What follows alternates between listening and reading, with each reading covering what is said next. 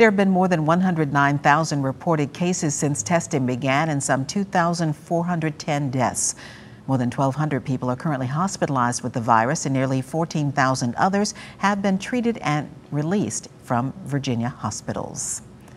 And take a look at this graph. The yellow line shows the seven day rolling average of the percentage of positive tests here in Virginia.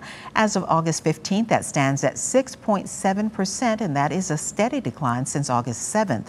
Health officials say it's important to keep that metric below 10%.